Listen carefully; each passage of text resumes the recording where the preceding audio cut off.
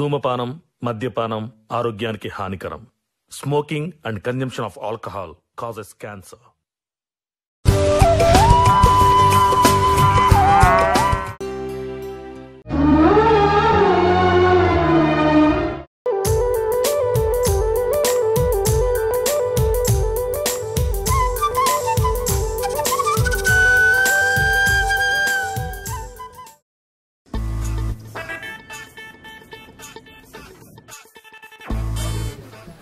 Sapna చేతుల్లో బలం లేదా ఉన్న కొండిర కొట్టింది.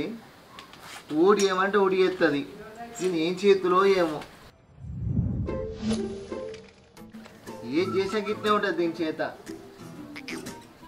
ఇంట్లో లేదా ఆయన పొద్దుల నుంచి అవపడతలేదు. ఏమో.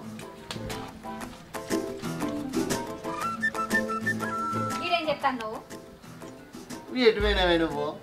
నేనా? సరక్కోళ్ళ ఇంటికి పోయినా నిన్న కైకిలికి రాయ పిల్ల అని చెప్పింది. ఇక పోయేయాలైంది ఇంకా అత్తలేరేందని నేనే పోయినా. ఏమన్నదే? ఏమంటది? కైకిలి బంద్ అని చెప్పింది. ఎందుకు? దున్న ట్రాక్టర్ రాలేదట అందుకే రాకుండా అయితే పిల్ల అన్నది. అయ్యో మరి ఎట్లనే ఇప్పుడు? ఎట్లా ఏమున్నది? ఇంట్లో పని చేసుకుంటా. నువ్వేం చెప్తాను గిడా? ఏం చేస్తానమంటే ఏందే? ఉన్న కొండిర కొట్టావు. మబ్బుల పడుతుంది వాన వచ్చేటట్టు ఉన్నది. నీ శేనికాడికి ఏం పట్టుకొని వాడినే ఓ గిదా నిన్న నేను ఇంట్లో పని చేసుకోగా సజ్జ మీద ఎలుకల సప్పుడు వచ్చింది. దీన్ని అందుకొని రెండు పెట్లు పెట్టిన. అది పుట్టుక్కుని ఇరిగింది దానికి నన్నేం చేయమంటావు? అబ్బా మా యశోగతి రేవాళ్ళ పని. ఇయో ఇది చూడే పుల్లలు ఇట్లా అన్ని ఇరిగినాయి. నీ ఎట్లా పట్టుకోపోనే ఇరుగుతే చత్రీలో రక్తే చేపించుకోరాదా? ఏమిటి చదువుతాను పది రూపాయల పనికి వంద చదువులు చదవబడుతుంది. మా దగ్గర పా నడు ఇంట్లో నడు. అమ్మా ఇది అనక ఏం చెప్పాలి నీ సంగతి చెప్తా. నడు. అవునే సప్న? ఇలా నాటే పోతలేవు కదా? ఏం కూర అంటది? ఏం కూర అండుతా? అరకిలన్నీ అంకాయలు లేపో అండుతా.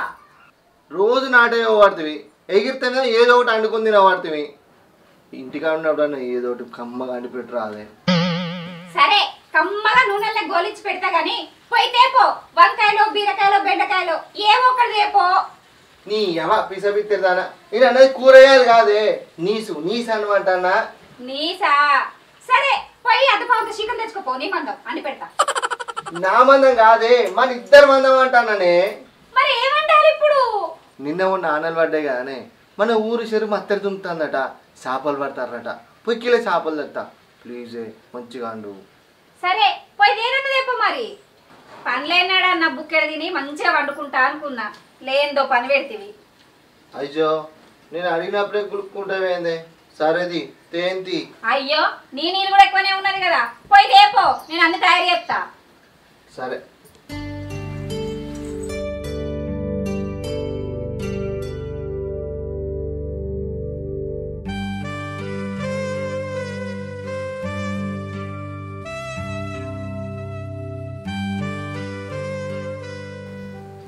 అందరికి తినే అల్లయింది. నువ్వేమో ఇప్పుడు లేచి ఛాయ్ తాగుతాను ఏమోనే ఈ టెన్షన్కి రాత్రంత నిద్ర పట్టలే. అందుకని. ఇప్పుడు కొంచెం చాలా చక్కెర ఎత్తేంది నిన్ను వేసుకున్నాక నా జీవితమే సక్కాలేదు. నేను సర్దుకపోతలేనా? ఛాయల కింద చక్కెర తక్కువైతేంది నువ్వు కూడా సర్దుకపో. ఎందుకు కోపానికి వస్తానువే ఇప్పుడు ఏమైందని? ఇంకేం కావాలనా పొద్దుగా లేచి బయటికి పోదామంటే భయం అవుతుంది నువ్వు చేసిన కథలకు. మళ్ళీ ఏమైంది? ఎవరన్నా ఏమన్నా అన్నారా? పొద్దుగాల పాల ప్యాకెట్ కానీ దుకార్లకు పోతే ఇంకా సంతన్న తొవ్వలనే పైసల గురించి అడుగుతాడు. ఎవరికి ఎన్ని సమాధానాలు చెప్పాలి నేను? మొన్న కలిసినప్పుడు చెప్పి నేను నాలుగు రోజులు ఆగమని. మళ్ళీ నిన్ను అడిగిందా? ఈ పైసలతోటి నాకు ఇబ్బంది అవుతుంది. ఇట్లా అడ్జస్ట్ అయితే ఏమో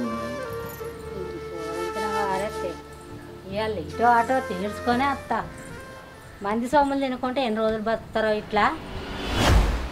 ఏదన్నా ఒక పనిని పట్టుకొని ఇస్తే బుక్కడు బువ్వ దొరుకుతుంది నాలుగు పనులు చేస్తే ఏది చేతకు రాదు. ఒకసారి బిజినెస్ అంటివి ఒకసారి ఫైనాన్స్ అంటివి ఒకసారి మన్న అంటివి ఒకసారి దుమ్ము అంటివి.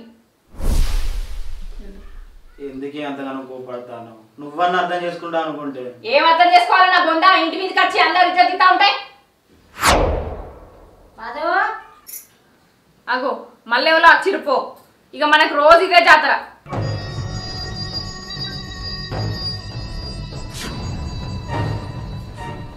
ఉన్నావారా బాదు పెద్దమ్మ. నీకు చిట్టి కట్టి గిన్నేం రాయ్?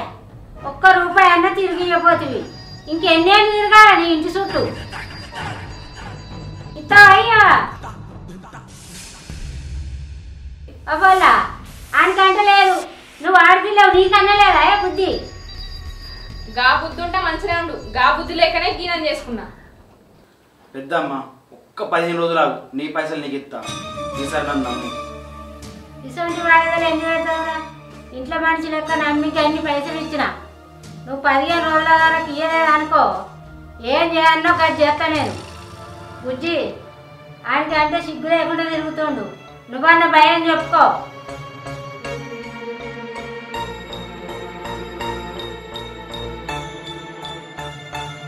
మొండిగా బతుకుతుర్రు. ఎన్ని మాటలు అన్నా ఏం అనిపించలేదు పదిహేను రోజుల వరకు ఇయ్యలేదు అనుకో నిన్ను ఎట్లా చేస్తానో చూడు. నల్ల మొక్కపొడ మంచిగుందా ఇప్పుడు? ఏమో నాకు గమని నాకు తెలియదు భవాని ఒక సాయం చేయవాని. కాదానికి నీ దండం పెడతా. ఏచి అనకు. పెళ్ళానికి దండం పెడతా అనే మొగోడు ఎక్కడన్నా ఉన్నాడా? ఏమో నాకు నా కర్మ అట్లా కాలేదు. ప్లీజే కాదానికి. నేను అడిగిన దానికి సాయం చేసి ఈ గండం నుండి గట్టెక్కియే. ప్లీజే. సరే చెప్పి చావు ఇగో భవాని మనకు అంతో ఇంతో ఐదు లక్షల అప్పు ఉంది కదా. అలా మొత్తం కాకపోయినా అలా సగం అండి మీ అన్నని అక్కరాయే ఏంది? నువ్వు చేసిన కథలకి మా అన్న దగ్గర పోయి మా అన్న అడగాల. పైసలు? నేను అడగా. ఈ ఇల్లు అమ్ముకో.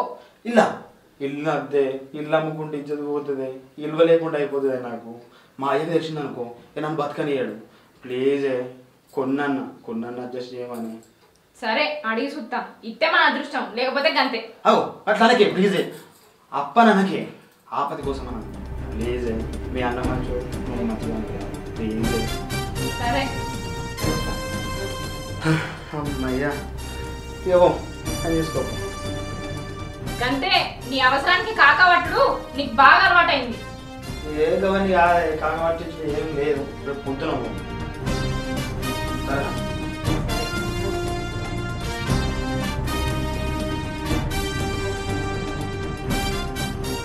ఇటు ఏమో బండి వేసుకొని పోతాను. ఇప్పని చెల్లి ఈ బండి నాది. ఈ బండిని ముట్టకిగా. బండికి నీకు ఏం సంబంధం లేదు.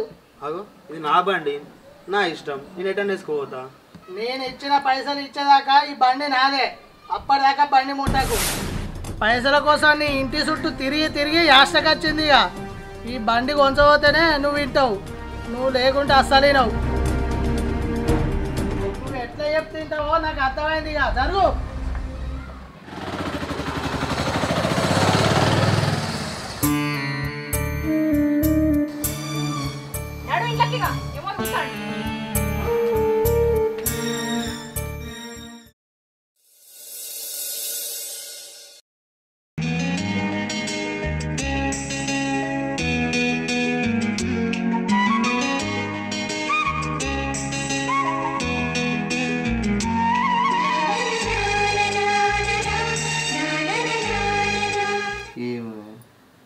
నాకు కూడా రాదు పౌడర్.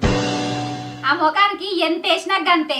ఇది వేసిననుకో తెల్లగా సున్నం వేరినట్టు వేరుతుంది సప్పుడే కూకో పౌడర్ వేసుకుంటారట పౌడర్. అయ్యో.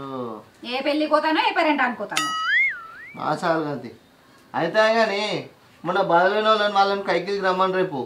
ఆ, సాయంత్రం పోయి చెప్పత్తతి సరే. ఏం పని లేనట్టు ముద్దు గుసని ముచ్చట్లు పెడతాను. మాజారతి. పొద్దున్నే పోయి మోటార్ పెట్టచ్చిందే ఐదు నిమిషాలు కూర్చుంటే వస్తలేవేందే? నిన్న? ఆగో సాల్గంతి మీ చెల్లి వచ్చింది. ఆగో ఫోన్ లేదు ఏం లేదు చెప్పక చేయకత్తాను. దడ్డా అంత మంచిదేనా.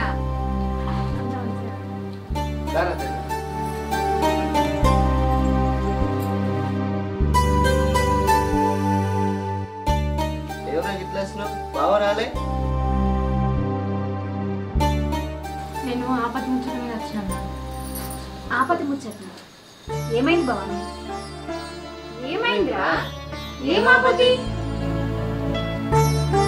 అన్న వదిని మా మామకు మూడు నాలుగు నెలల నుంచి ఆరోగ్యం మంచిగా ఉంటలేదు ఏమైందా అని పెద్ద దవాఖానలో ఇవ్వు పెడితే కిడ్నీ ఖరాబ్ అయిందన్నారు. ఆపరేషన్ చేయాలన్నట లేకపోతే బతకడని చెప్పిర్రు. ఆపరేషన్కి బాగానే ఖర్చు అవుతుందట వదినే.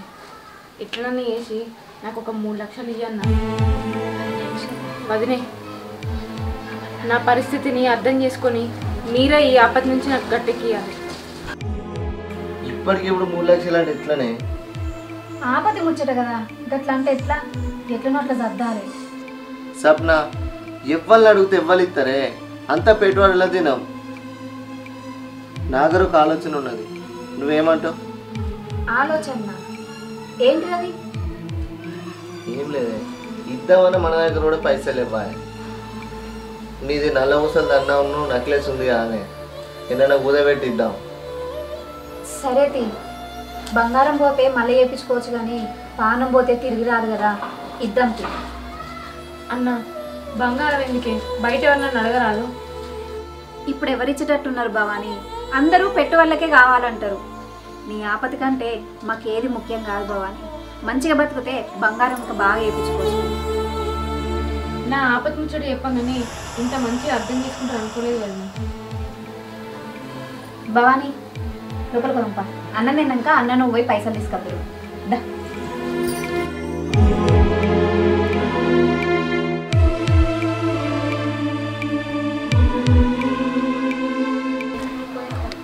నువ్వేం టెన్షన్ పడకు భవాని. మామయ్యకు ఏం కాదు. మంచిగానే ఉంటాడు. మదతోటి కూడా చెప్పు నేను చెప్పినాను ఇగో ఈ నల్లపూసది విడిగున్నది పట్టుకో. ఇగో ఇది బంగారం ఇలా ఇంకొక గుడి ఎక్కుతున్నది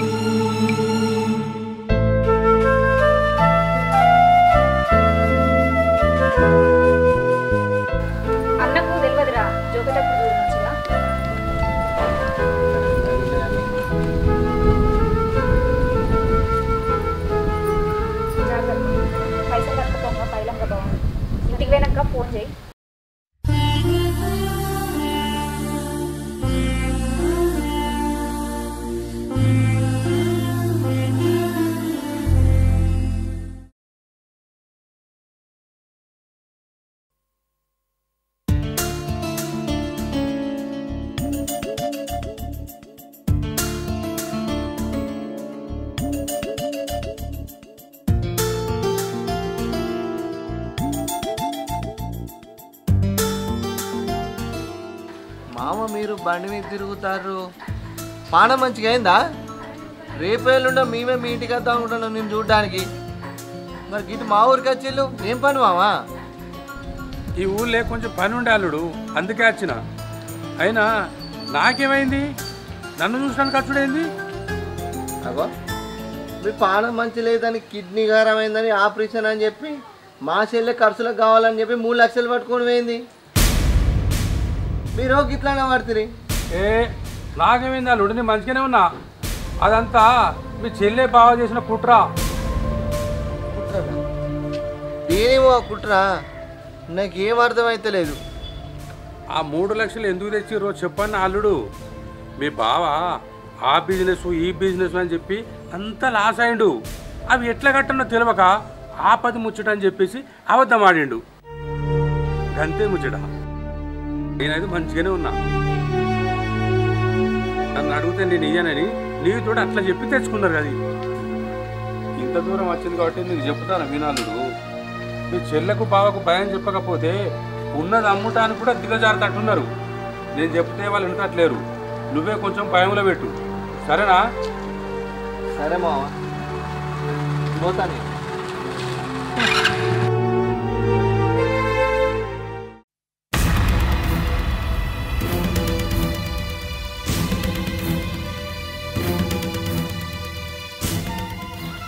ఇట్లెందుకు చేసిన చెల్లె? మామయ్య నాకు ముచ్చట చెప్పినప్పటి నుంచి నా మనసు ఎంత బాధపడుతుందో తెలుసా? ఆపది ముచ్చట అనుడితోటే వెనుక ముందు ఏం ఆలోచించకుండా వదిన బంగారం అంత అమ్మి నీకు పైసలు ఇచ్చిన. నన్నెట్లా మోసం చేయాలనిపించిందే?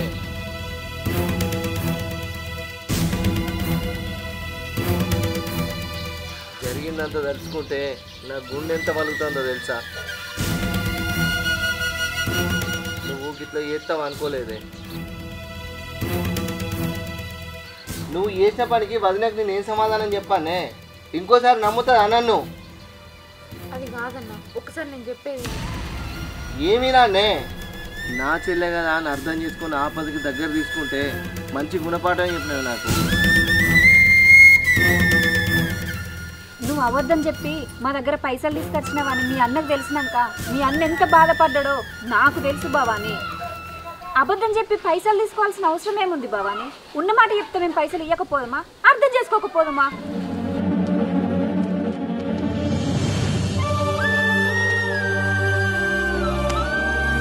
చెల్లె అని ఆయన అనుకున్నాడు కానీ ఆయన నువ్వు పరాయోని చేసినావు బావాని అయ్యో అట్లా అనకు వదిని. నేను చేసింది పొరపాటే. కానీ నేను ఆ తప్పు ఎందుకు చేసిన అంటే ఈయన విలువ కాపాడడానికి చేసిన. విలువ? ఇంకెక్కడ విలువనే? నువ్వు చేసిన నీతి లేని పనికి. అది కాదన్నా. మీ బావ బిజినెస్ పెట్టి ఫైనాన్స్ చేసి బాగా లాస్ అయిండు. అప్పుల పాలైండు. రోజు ఇంటి మీదకి అప్పులు వచ్చి బాధిస్తుర్రే ఆఖరికి ఈయన బండి కూడా తీసుకువేరు అప్పులలో ఇంటి మీదకి వచ్చి ఇద్దరు తీసిరన్నా అందుకే ఆ పరిస్థితులల్లా అట్లా అబద్ధం చెప్పి డబ్బులు తీసుకోవాల్సి వచ్చింది. అంతేగాని మిమ్మల్ని మోసం చేద్దామని కాదు. నన్ను అర్థం చేసుకో అన్నా. నన్ను క్షమించు వదిని. నువ్వు మాకు దండం పెట్టుడేంది భవాని? నువ్వు అట్లా చేసి మా విలువ తీయకు. మీ విలువ తక్కువ చేయాలని కాదు వదిని. మీ మంచితనాన్ని ఆసరాగా తీసుకొని ఈ విలువ తక్కువ పని నేను చేసిన. అన్న చిన్నప్పుడు నేను ఏ తప్పు చేసినా కూడా మా చెల్లే కదా అని దగ్గర చేసినా కదా ఇప్పుడు నేను చేసిన తప్పును కూడా మన్నించన్నా భవాని ఈ తప్పు తోవల పోవడానికి కారణం నేను. మీరందరూ పెద్ద మనిషి చేసుకుని నాకు క్షమించు అక్క ఏ ప్రయత్నం చేసైనా కానీ ఆ బంగారం నేను తెచ్చి అక్క.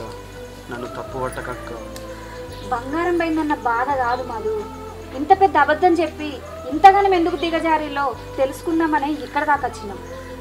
అప్పుల వల్లే మేము అట్లా చేసినాం సరే సరే. ఇప్పటి నుంచి అన్న మంచిగా ఉండుర్రి అబద్ధాలకు దూరంగా ఉండుర్రి సరే వదిని. అన్న నువ్వేం తప్పు పట్టుకోకే. అయిందేదో అయిపోయింది. బిజినెస్ అది ఇదని ఏం ఆశలు పెట్టుకోకుండా ఏదో పని చేసుకొని బతుకుర్రి. మేము పోతాను.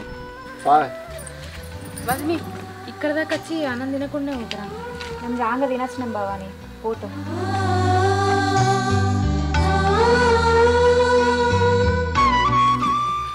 మనం చేసిన విలువ తక్కువ పనికి అన్న వదిన ఎంత బాధపడ్డారు వీడు దీని అంతటికి కారణం నేనేను. సారీ